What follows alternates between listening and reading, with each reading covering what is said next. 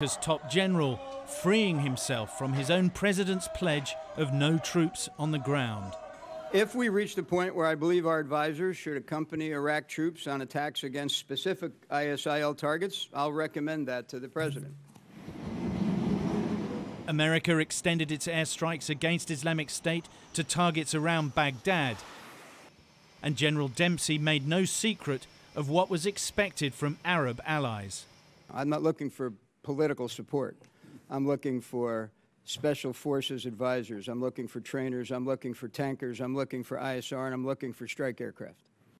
Chuck Hagel said a priority would be to attack the Islamic State leadership.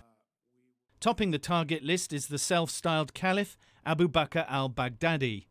Key to the military success of Islamic State, though, are his two deputies, Abu Muslim al Turkmani, a former colonel under Saddam Hussein who oversees the Iraqi provinces, and Abu Ali al Anbari, another former colonel and former intelligence officer who heads up the Security Council and oversees Syria.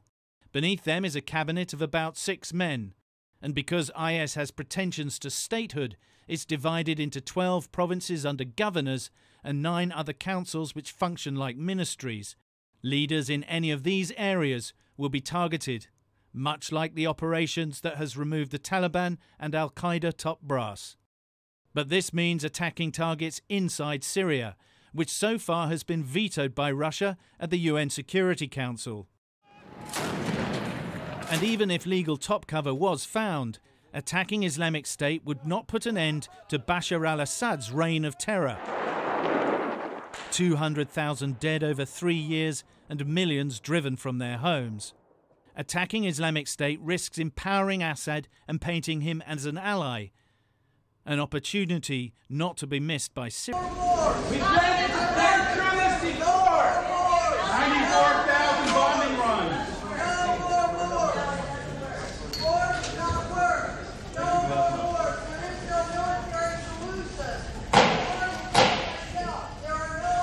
Will come to order. We're asking all the audience now to either take their seats and be quiet or please leave. Okay, would you? We're asking you again to please sit down, and if not, we're going to ask you to leave. No, thank you. Thank you for. Would you please now leave? Would you please now leave? I'm asking you to please leave. You're acting very warlike yourself. Would you please leave? Yeah, that's good.